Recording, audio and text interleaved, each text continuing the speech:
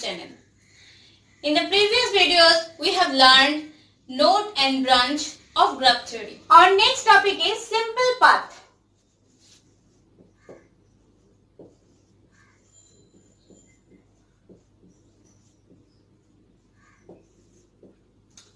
Now what is simple path?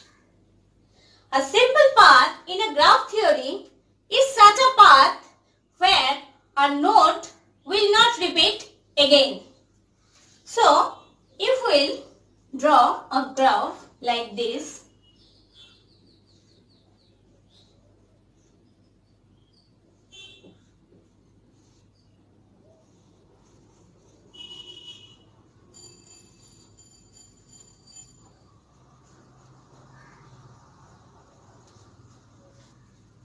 if we denote this node as A, this is B, this is C and this is D. So here a simple path will be if the simple path is denoted by denoted by P simple path will be B to A to C to D. That means B A C D. That is, this is a simple path.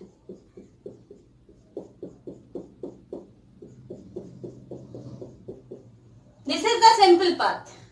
But if we will write the simple path is like this A, B to A, that means B, A, C, again come to B, that means here the node B are repeating. That means this is not a simple path. That means this is not a simple path. Simple path will be the path where any node will not repeat again. That is here we are saying no node are repeating again.